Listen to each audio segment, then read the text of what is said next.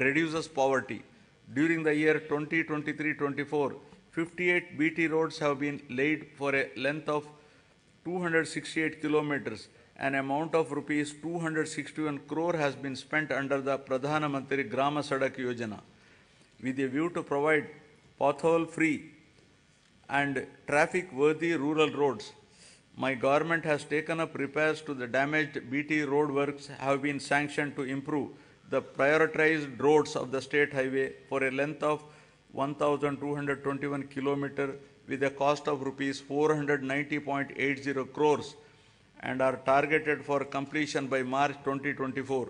1,877 damaged BT roads covering, covering a length of 4,635 kilometers at an estimated cost of 1,121.85 crore has been identified to make, make them pothole free and traffic worthy.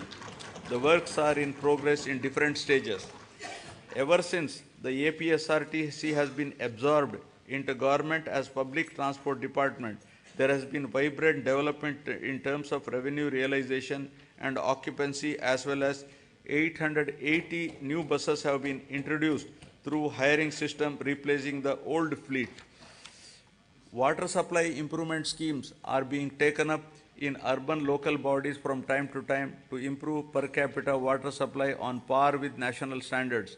My government is giving top priority to provide protected drinking water to all urban local bodies by strengthening existing infrastructure and improving service levels. Currently, about 2000 MLD of drinking water is being supplied to 123 ULBs with varied frequency in different ULBs. New projects have been taken up in Machilipatnam, Markapuram, Proddatur, Kamalapuram, Narsapuram, and Amalapuram ULBs in this year with an estimated cost of rupees 327.38 crores and are in progress. My government has taken up Jagananna townships to promote planned and integrated development of various towns by providing basic infrastructure facilities and to address the aspirations of middle income group for quality housing and allied infrastructure by ensuring availability of clear title residential plots at affordable prices. At least two MIG layouts are to be identified in each constituency. 30 projects have been taken up with 12,042 plots, emphasizing the need to manage the process of urbanization and growth of cities. The union government has outlined the importance of developing cities and preparing a roadmap for achieving the same.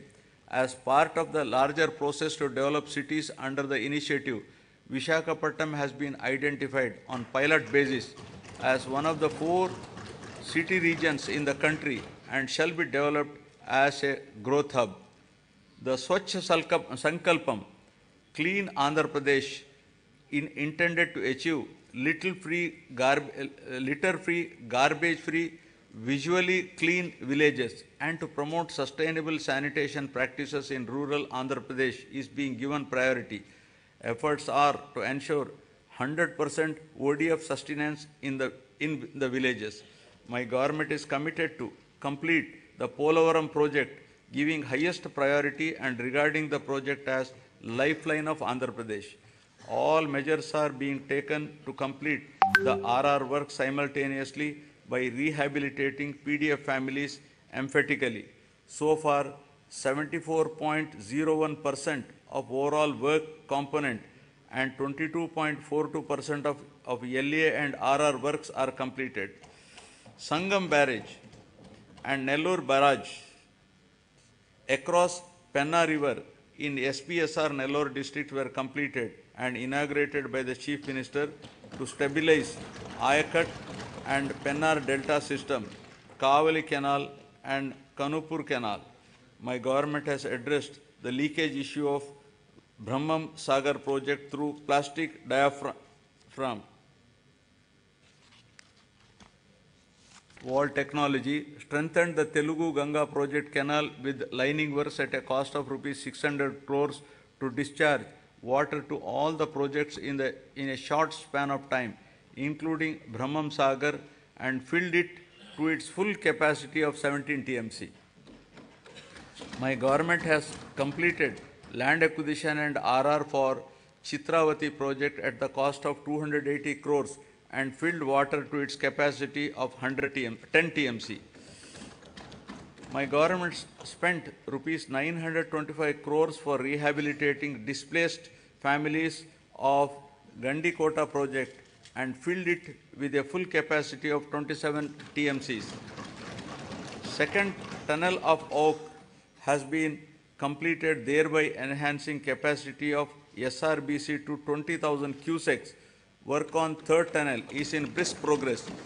My government succeeded in providing water to 77 minor irrigation tanks in Kurnool and Nandyal districts to irrigate over 10,000 acres through HNSS pump house project at Lakkasagaram with an expenditure of rupees 253 crores. My government has completed the works of first tunnel as part of Veligonda project, bringing much needed relief to drought prone areas of Aswell, Prakasham, Nellore and Kadapa districts. I am happy to inform that second tunnel is also through just few days ago and will be dedicated to the people shortly. Thereby, Nallamala Sagar will be able to store water with Kharif rains by September 2024. Focusing on the provision of water to Kuppam constituency, the Kuppam branch canal works have been completed. The, wa- the water in Pulichintala Chintila project has been stored to its full capacity of 45 TMCs by resolving the issue of R&R and paying an amount of rupees 142 crores to the affected families.